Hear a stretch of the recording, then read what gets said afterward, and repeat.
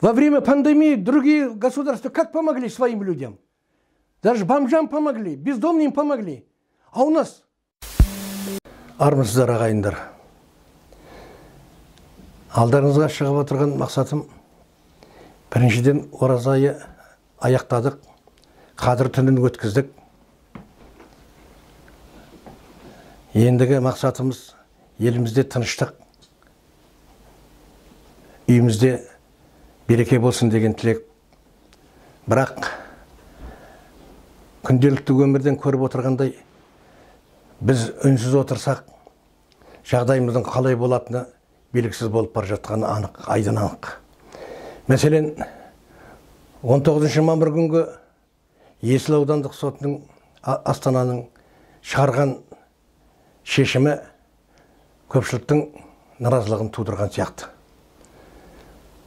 былай қараған уақытта біздің бір таңғалатын нәрсеміз қазақстанның демократиялық таңдауы дегенді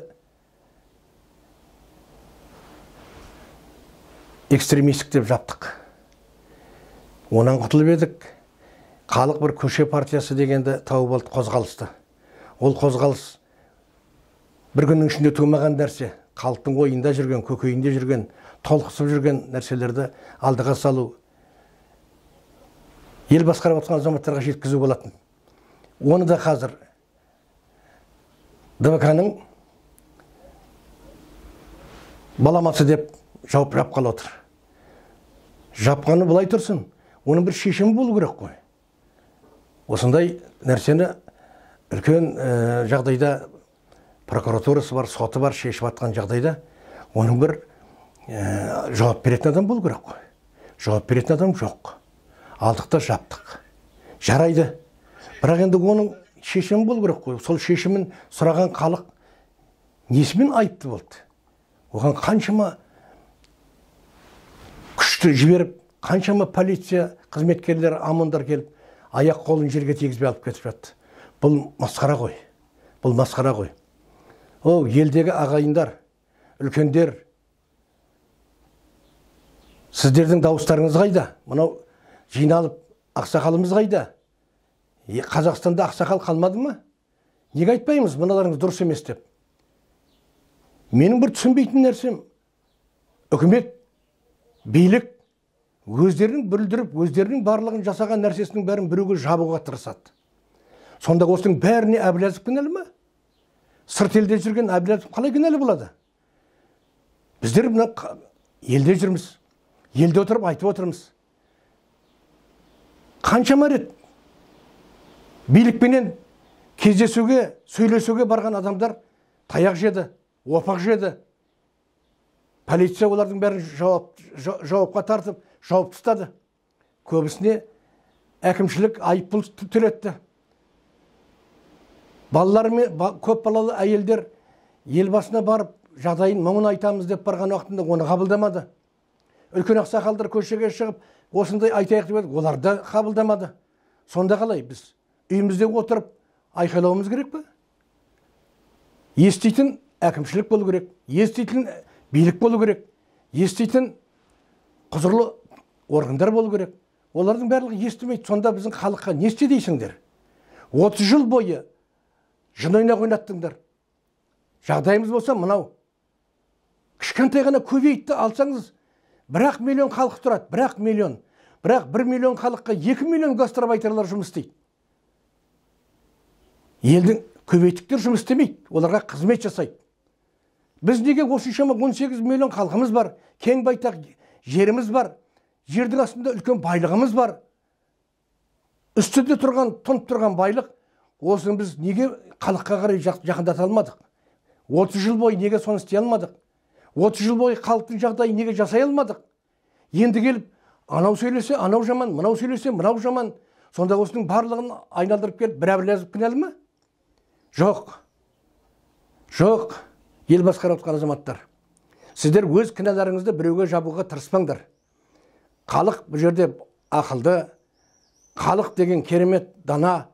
Осының бәрін сендерден асықпай күтті. Осы бір шешімі шығар. Иә алла тағала бір жөнін салар деп бірақ ол салмады.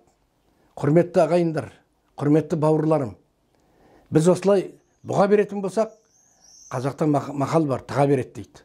Сондықтан біз ойымызды жинақтап осындай ғаламтор арқылы жеткізуге тырысып отырмыз. Еститін құлақ болса бізбенен сөйлесуге шығамын дейтін билік болса біз дайынбыз. Мен сияқты ақсақалдар бар. Бірақ олардың барлығы біреу шығар деген ниетпенен қолдары сілтеп отыр. Бұл нәрсе ұзаққа бармайды. Міне қазір ел қиналып жатыр. Елге жағдай жасалатын уақытта елді жан жағынан қинап қойдық. Үйден шықпаңдар дейсіңдер. Бәлкім ауру бар шығар. Ауру болғанменен елдің жағдайын халықтың жағдайын жасау керек қой. Ал жақсы ертең осы тағы бір айдан кейін екі айдан кейін аяқталар. Бұл аурудың да аяғы, аяғын тартар. Сонда жұмыссыз қалған халық аш отырған халық не істеуге тиіс? Әрине сіздерден барып тағы да тілдесуге барады. Тағы да алдарыңызға шығады. Тағы да сіздер оның барлығын қамап тастай бересіңдер ма бұл қашанға дейін созылады. Біз басқа елдерден неге ұялмаймыз? Отыз елдің қатарына өркениеттердің қатарына қосыламыз деп келіп үлкен ұран тастаймыз. Ол ұранымыз қашан орындалады? Ең бірінші адамның ішкі әлемін адамның миын адамның жүрегін жаулап алмай ештеңе де шықпайды. Сондықтан мен сіздерге айтайын дегенім мынау көше партиясын жабуларыңыз көшеге шықпа деген сөз. Қазір карантин болды ма үйде отырмыз ба? Үйден шықпай отырмыз. Енді көшеге шықпа дейсіңдер. Үш адам болып төрт адам болып қосылма дейсіңдер. Біз енді қайда барып айтамыз? Бізді кім тыңдайды? Тыңдайтын құлақ еститін билік бар ма? Айтыңдаршы. Айналайын халқым момақан халқым көшеге шық төбелес деп айтпаймын. Бірақ бұның арты жақсылық болмайды ғой. Жақсылықты біз өзіміз жасауымыз керек бірігуіміз керек. Бейбіт бірігуіміз керек. Біздің күш екенімізді халықтың күш екенін көрсетуіміз керек. Сонда ғана билік бізбенен тепе тең сөйлесе алады сонда ғана біз тепе тең дауысымызды айта аламыз.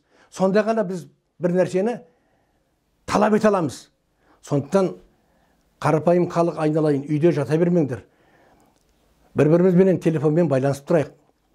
Біздің қай жерде қалай екенімізді біліп жатсыңдар халық бірлігін жасамай халық бір жерге тоғыспай бір ортаға жиналмай билік бізге осындай қоқанлықсын жасай береді. Сондықтан ойланайық халқым ойланыңыздар сіздер де билік. Бұның арты жақсылыққа апармайды. Жақсы күндерде кездескенше қош сау болыңыздар. Здравствуйте, уважаемые друзья! Сегодня меня побудило выходить опять же на эфир запрещение деятельности движения Куше Партиес. Безобидная партия мирно высказывает свои мнения через Facebook, через YouTube. Ну, это тоже не устраивает власть. То, что за 30 лет упустил момент хороших, своей войны хочет на кого-то свалить. Неужели во всем виноват Аблязов? Неужели? ДВК демократический выбор хотел сделать. Это не понравился. Террористическая акция называется. Куше партия тоже экстремистская организация оказалась. Люди, которые хотят на диалог идти с властью, власть имущим людям, сказать свои чаяния. Неужели вы думаете, господа хорошие, что у нас государство все хорошо, все достаточно. Во время пандемии другие государства как помогли своим людям? Даже бомжам помогли, бездомным помогли. А у нас нормальных людей, пожилых людей, если выйдет на улицу какие-то требования, сразу сажает.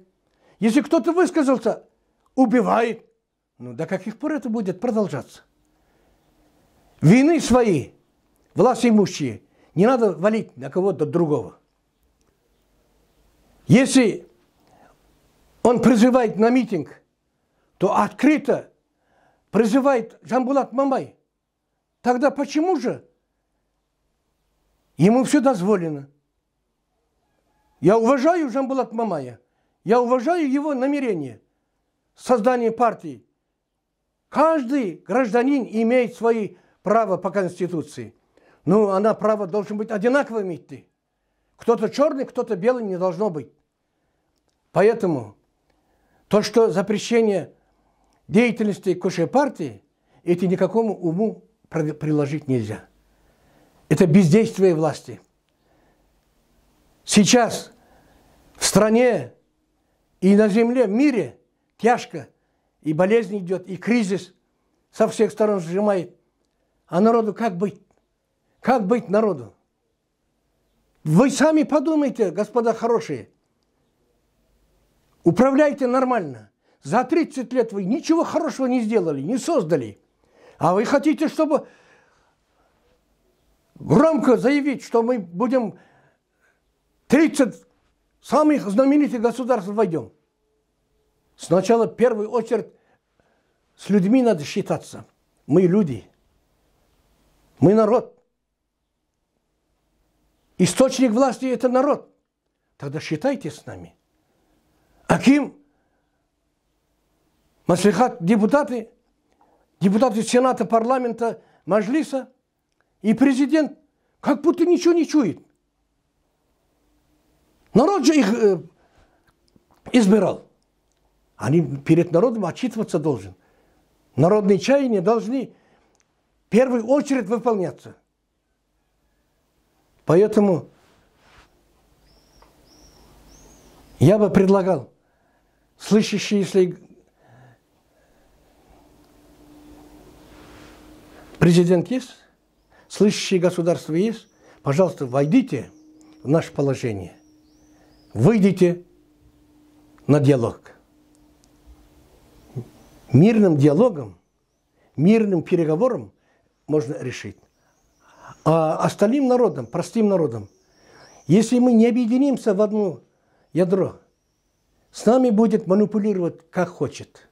Поэтому мирно мы должны собраться, мирно мы должны объединяться, создать надо народный голос, голос народа, тогда мы наравне с ними можем разговаривать, тогда мы наравне можем требовать, что мы хотим. Есть о чем думать. Конечно, это не последний, не первый разговор. Вы, наверное, правящее государство, кто вы сами чувствуете. Давайте мирно вот это все решать. Спасибо за внимание. До скорых встреч.